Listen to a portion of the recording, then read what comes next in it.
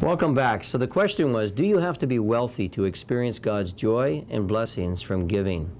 Let's consider 2 Corinthians 8, 1 to 4. This is a powerful scripture, and it answers our question. This is where Paul said, And now, brothers, we want you to know about the grace that God has given the Macedonian churches. Out of the most severe trial, their overflowing joy and their extreme poverty welled up in rich generosity. For I testify that they gave as much as they were able, and even beyond their ability. Entirely on their own, they urgently pleaded with us for the privilege of sharing in this servant's service to the saints.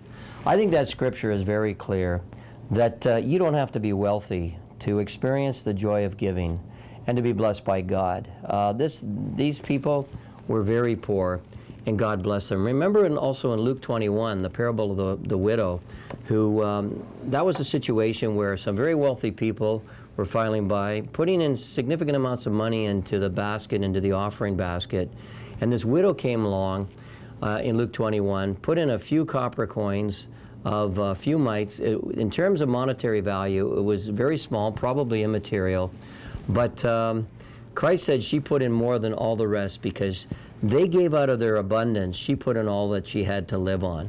So you do not have to be wealthy.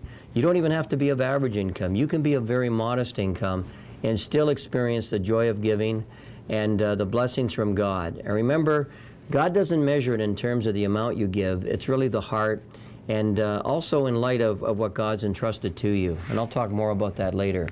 Number 10, give cheerfully.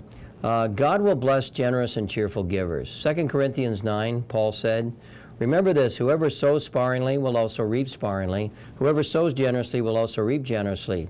Each man should give what he has decided in his heart to give, not reluctantly or under compulsion, for God loves a cheerful giver. So here's the next question Why does God bless us financially? So I want you to think about that one. Why does God bless us financially?